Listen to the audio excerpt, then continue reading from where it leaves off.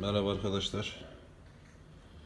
6 sene önce yaptığımız bir bağlama gelmişti. Buna mount sap takmışız. Perdelerinde falan eskimeler olmuş. Ufak tefek çızıltıları vardı. Sapın üstüne bir tesviye attık.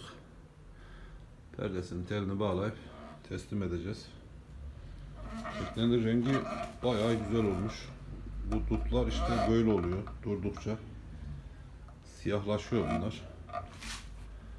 Bu maun sapla da bayağı güzel bir renge ulaşmış. Şöyle simsiyah görünce size de göstereyim dedim. Bunu yurt dışında bir arkadaşımıza satmışız. Bir bakım yaptık buna. Tesviye vesaire. Üst eşik falan. 500 lira da parasını aldık. Bunlar böyle işte arkadaş bunlar bunlar bitmez ben size söyleyeyim yani. Sazlar bitmez. Kapı cızırtı yapsa bile tesviye atılır. Yani 10 sene sonra bile kapağı çökse bir kapak değiştirirsin. Bu malzeme tekne eskidikçe yani eski ağaç her zaman iyidir. Bunu işte kireçleyip boyayıp vermeyeceğiz. Mesela şunlar mesela 200 senelik tekneler ama işte hani kurudukça eski malzemeler daha farklı oluyor. Yani bir dut bağlamayı öyle kolay kolay bitiremezsiniz. Bitmez bu yani bunu kırmadığınız sürece bir şey yapamazsınız. Sap cızırtı yapsa tesviye atılır. Yani kapak tesviyeye girer. Çökmüşse değişir. Yani bunlar böyle arkadaşlar. Hatta Instagram'da takip ettiğim keman sayfaları var. Adamlar büyük kemanlar yapıyorlar 100 senelik. 100 senelik kemanlar söküyorlar kapaklarını. Alttan tekrar çatlak yerlerini tamir edip adamlar aynı kapakları tekrardan monte ediyorlar. İşte onları öyle yapmalarının amacı yani 100 senelik bir ağacın sesiyle 200 senelik, 5 senelik bir kapağın ağacın sesi farklı olur. Eski malzeme her zaman eski malzeme iyidir. Mesela şu açık duruyor. Bu açık duruyor fakat bunlar da yeni değil. En az 3-4 senelik, 5 senelik bunlar tekne. Mesela şunlar en az 4 senelik malzeme. Ama bunu kazıdığın zaman direkt şu rengi buluyor. İşte sizin elinizde durdukça da böyle kızarıp gidiyor bunlar. Yani ilk başta bunu kirece sokup boyaya sokup siyahlaştıran var. Yani o tip şeylere gerek yok. Bunlar doğal malzeme olduğu için bunları boyamaya falan gerek yok arkadaşlar.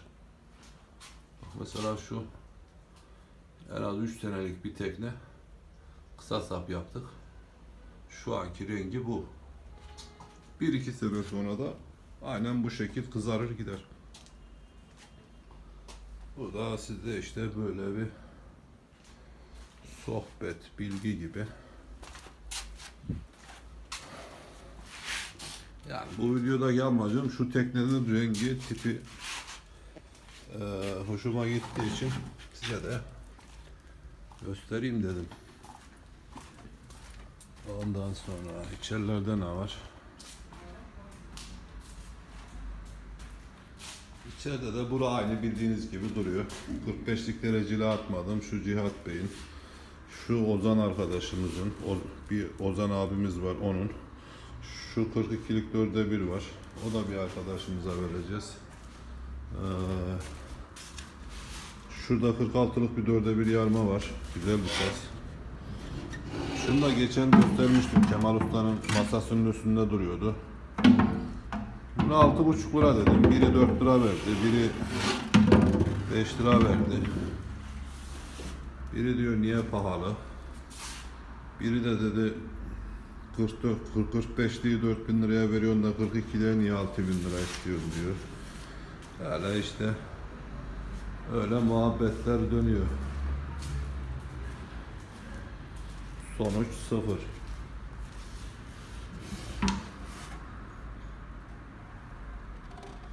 Şurada da iyi bir saz var.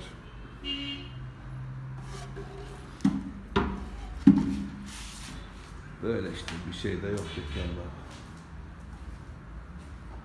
Böyle vakit geçiriyoruz anlayacağınız. Öyle ahım şahım bir çalışma yok.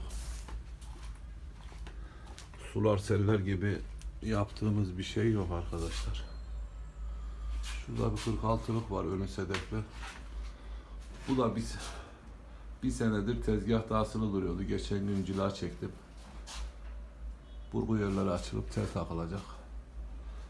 Şurada eski, eski bir saz vardı. Ona bir tesbih attım. Duvarda duruyordu. Şurada yeni bir evlilik var. Bunun eşiğini takmamışız. Şurada kısa sap var. Onu bir arkadaşa söz verdim. Bir de 44'lük tut var. Birini telledim. Diğeri de burada önü sedefli. 3000 lira gibi fiyat istiyorum buna. Bunun biri telli biri de burguları falan takılacak.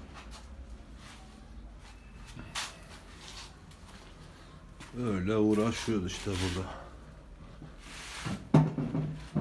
Yani çok bir saz yaptığımız falan yok. Yaşlandık artık. Şimdilik görüşmek üzere arkadaşlar. Kendinize iyi bakın.